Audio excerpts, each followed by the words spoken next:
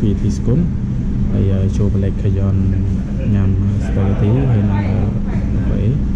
តែឯងសិក្សានឹងជុំវិញអត់មានអីទេតែតែឡូនមករ៉ៃឡូនមកណា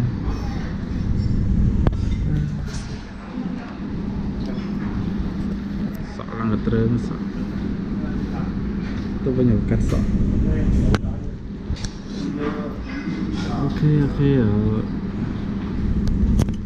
ចឹងវា